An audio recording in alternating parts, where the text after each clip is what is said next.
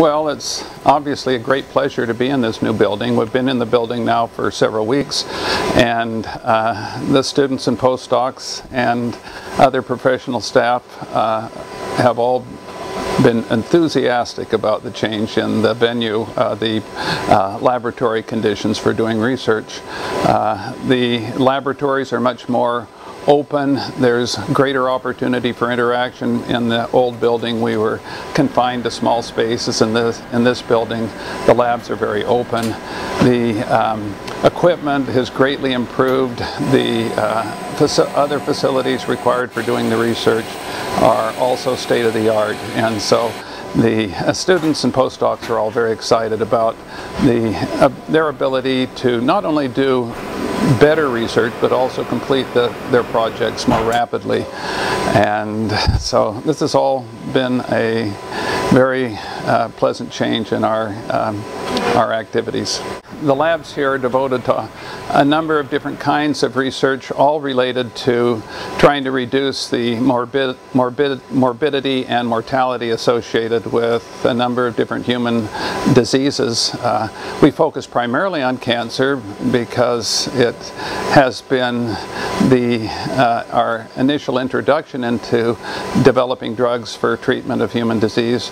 But as we've progressed in this effort, we've discovered that we have insights and opportunities to develop uh, new therapies for a lot of autoimmune diseases, including rheumatoid arthritis, idiopathic pulmonary fibrosis, Crohn's disease, multiple sclerosis, and these sorts of pathologies. And also we're working now uh, very intensely on a number of uh, infectious diseases, uh, including uh, uh, malaria. We're starting clinical trials in malaria and also some uh, bacterial and even viral diseases, including influenza and HIV. And then uh, more recently, we've moved into heart disease and Alzheimer's and some of the other uh, problems that plague uh, the aging population in the, in the U.S. We have a number of rooms that are dedicated to different uh, types of, of uh, chemistry and biology. This room itself has been set aside uh, for uh, instrumentation and uh, development of new methods. We have in here instruments that help us purify proteins, detect impurities, uh, analyze the structures of small molecules and drugs, increase their uh, purities, uh, reduce the uh, toxicities associated with their administration and so forth. So we've got about 20 different instruments in this room that we use for these applications. I can take you on to a few other rooms and we can show you the types of activities that uh, occur in those rooms also. Uh, over here, let's we have uh, some labs that are uh, dedicated to organic synthesis. Uh, we're uh, synthesizing new drugs, drugs that we design uh, theoretically during our meetings. Then we come in and execute the designs by making the molecules.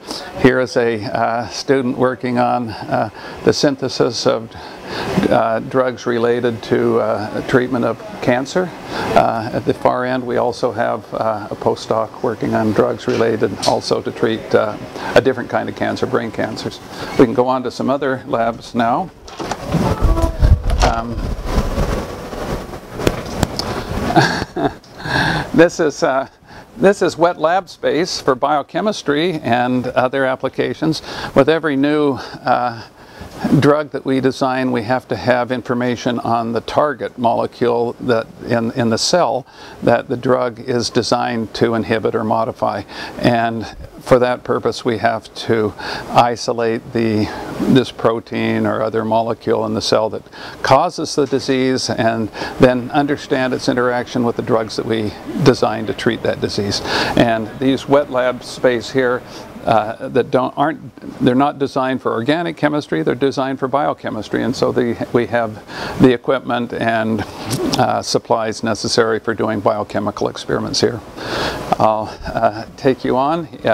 Right next door here we have a room um, dedicated for uh, storing our chemicals. They're all uh, um, placed here in alphabetical order. This particular room uh, is for storing uh, dry chemicals, powders, and things of this sort.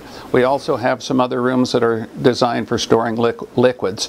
These rooms are well ventilated, so the uh, user doesn't have to breathe the chemicals that could, in some cases, be harmful to them. This room uh, just over here is our centrifuge room. We have in this room some high-speed centrifuges and some low-speed centrifuges on the opposite side. Uh, these centrifuges are required for the purification of proteins and uh, membranes that we use in studying the action of all the drugs that we design. So they're uh, very important for all the uh, studies that we perform. Um, this uh, room right here is um, contains some imaging equipment. Uh, oftentimes as we treat animals, we have to follow the progress of the therapy. This requires very sophisticated instrumentation for imaging the disease, looking at the change in the in the area or, or uh, volume occupied by the, the tissue in the in the animal, as well as looking at the uh, using other measurements to follow the intensity of the disease. And so we have instruments here and also in the basement of Hansen that we purchased for drug discovery uh, that uh, allow us to monitor the progress of our therapies in live animals. So um, then uh, this room right here, it's a little bit uh, out of sorts, is for uh, working with radioactivity whenever we uh, design a new drug we have to ask the question, where is this drug going in the body? And we, uh, we again use animal models that contain the disease or that are expressing the disease that is found in humans.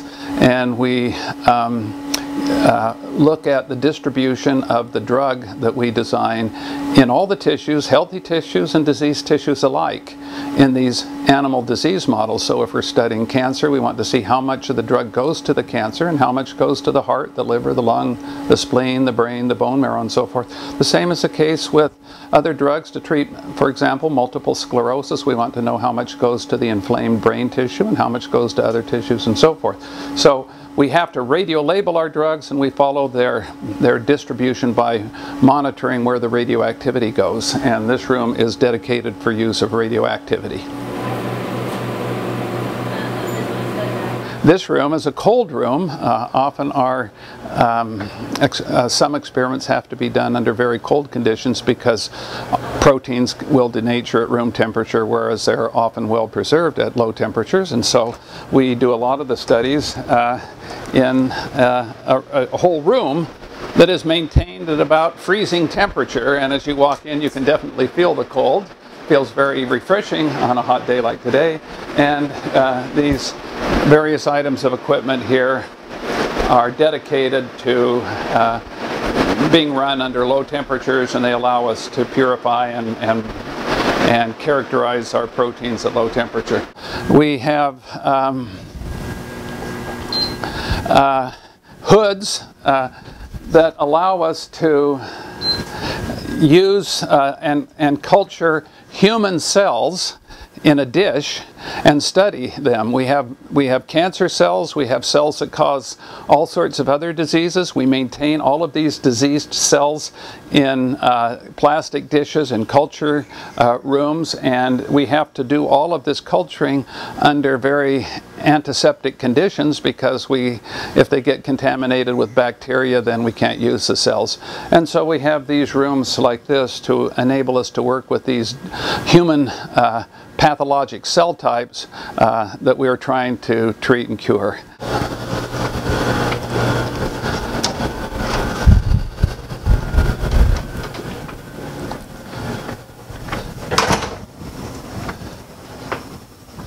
Um, in addition to uh, human cells, we also study uh, other cell types that are uh, called pathogens. These are bacteria, viruses, and um, parasites that can lead to various human diseases. For example, in this particular room, in this chamber here, we're uh, culturing what is called Plasmodium falciparum. This is the scientific name for malaria, and we're working on new therapies for malaria, and we work on these hazardous pathogens in this protected room. Uh, we also work on influenza virus, on HIV, on a number of um, infectious bacteria like um, uh, Staphylococcus aureus that's uh, that's methicillin resistant, the MRSA as people call it. We're working on some other drug resistant pathogens too to try to, again, uh, treat many diseases that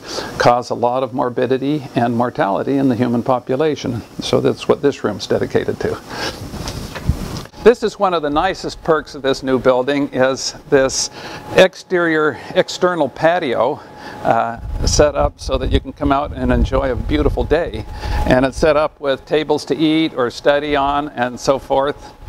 And uh, uh, we have a beautiful view out. Right now it's full of construction, but very soon this area you're looking at now will be uh, filled in with grass and it will be planted with flowers and trees and it'll be a beautiful quad. So this should be a very scenic area. The future of this building will involve filling it with very highly, highly qualified faculty members with a major focus of their research on the design of new drugs to treat important human diseases. We're currently in the process of hiring a number of these very prominent drug researchers from eminent institutions across the country. We uh, think we have some excellent candidates lined up and time will tell how many of these we are able to, to attract to Purdue.